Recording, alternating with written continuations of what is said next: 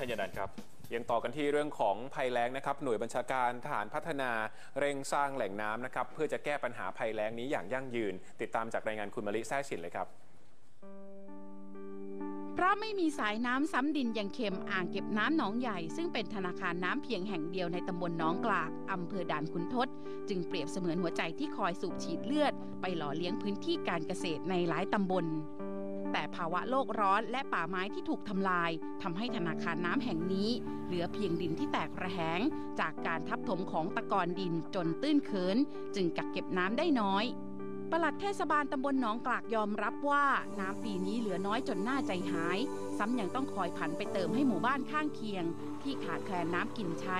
และต้องสูบไปดับไฟป่าที่คุโชน จึงห่วงว่าน้ำอาจมีไม่พอใช้จนสิ้นฤดูแล้ง และเชื่อว่าหากทหารไม่มาช่วยขุดขยายอ่างเก็บน้ำวิกฤตแย่งน้ำที่เหลือน้อยอาจเกิดขึ้นได้ในเร็ววัน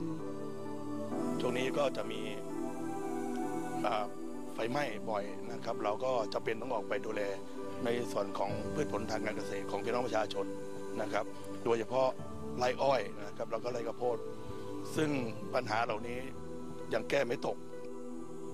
ตลอด 2 สัปดาห์ที่ผ่านมาเครื่องจักรจากสำนักงานพัฒนาภาค 5 หน่วยบัญชาการทหารพัฒนากองบัญชาการกองทัพไทย เดินเครื่องเต็มกำลังเพื่อขุดดินตะกอนออกจากก้นอ่าง กินพื้นที่ 40 ไร่ในเฟสแรก และจะขุดอีก 40 ไร่ในเฟสที่ 2 ราวต้นปี 2561 โดยหวังว่าการขยายความลึกของอ่างเก็บน้ำจะแล้วเสร็จก่อนที่ฝนจะตกลงมาในอีก 2 เดือนข้างหน้า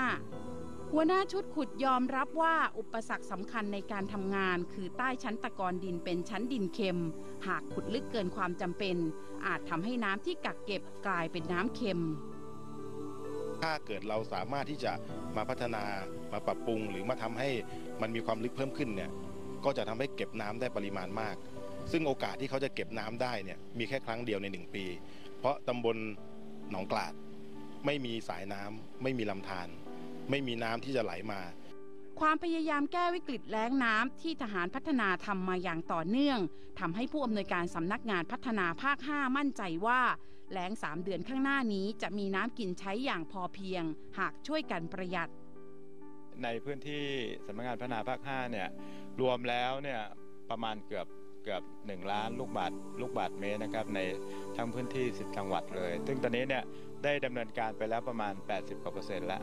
ก็คิดว่าไม่น่าจะเกินประมาณเมษายนนี้ก็จะครบทั้ง 100เปอร์เซ็นต์